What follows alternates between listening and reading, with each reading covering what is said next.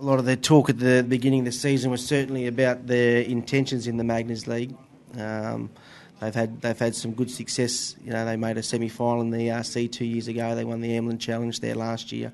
You know, they've certainly looked to address their, their Magners League form this year, and they've certainly done that. They're they're certainly well in the mix. They've got some, they got a good draw on the way home. They've got a game in hand, and they're certainly right at the top end of the end of the table. But you know, they're, they're a side who, you look at them, have a you know excellent strength right across the park with regards to forward, you know, led by Rush, and then you've got, you know, a back line with Laulala and the, and the rest of them in there. So, you know, at their day, they've proven that they can they can they can beat anybody. And but they play an expansive game, but they're ex- extremely good at the breakdown and possess a really strong uh, defensive component of their game. So, hard to beat at home, as as we well know.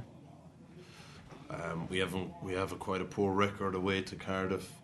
Um, so really, for us coming back in from Ireland and and having to learn a few new bits and pieces, obviously line out calls, um, you know, different a small bit of a different language defensively and a different language in attack and a, a few different plays.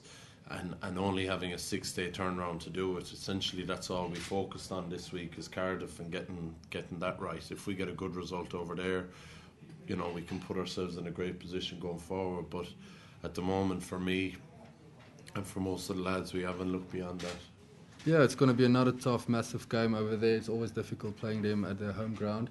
Um, they're attacking side and also a physical side, so we've got to front up on all the all the areas on, on Friday night and to get a result.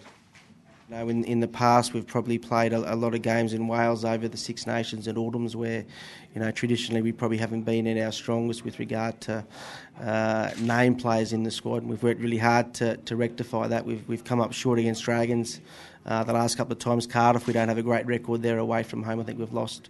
Uh, since 2006, I think we've lost nearly every game. Last win was 2005. Scarlets, uh, we've won there the last two out of three, and they're not Ospreys. We won there two years ago, lost last year. So it's been a mixed bag with regard to to playing away. But I think you know the Magners League competition is you know reflects a lot of major competitions around the world that it is very difficult to win away from home. I don't know if we're any different to any anyone else. If you look through anyone else's records in travelling to Wales and travelling to good sides like Cardiff, Scarlets, who have improved dramatically, and and Ospreys, it's a difficult place to go to anyone's home venue in this competition the way it is, and you know, I think that's reflected in Treviso and Aironi's form too at home, where they both certainly lifted and been very strong there. Yeah, I'd love to, to keep playing now and, and, and get a run under my belt. I think um, I think that I think that's where really the match fitness comes when you play four or five weeks in a row. Last season, whatever way I went between I, I, I had a small little hamstring injury for that kept me out for one game, a calf injury which kept me out for one game, and we had the ice as well. And last season I only ever played three games in a row once and never played anything more than that. So it was always two weeks on, a week off, or, and and I just don't think you can hit the real levels you need to hit. Well, I can't anyway. Hit the real levels I need to hit to play. So I'd love to get a run of games under my belt now.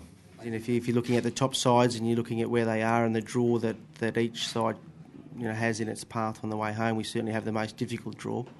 You know, with regards to the sides that we're playing at the top of the ladder and where we play them. You know, Cardiff Cardiff Scarlets and Ospreys away from home and Leinster at home, and obviously a very much improved and very determined Connacht side in the last game of the season. So, you know, certainly you, you want to get a, a real strong gauge on where you are, and certainly those sides will provide that for us. So, you know, if you're going into finals, you want to make sure that you've got a hard run home, and we've certainly we've certainly been provided with that.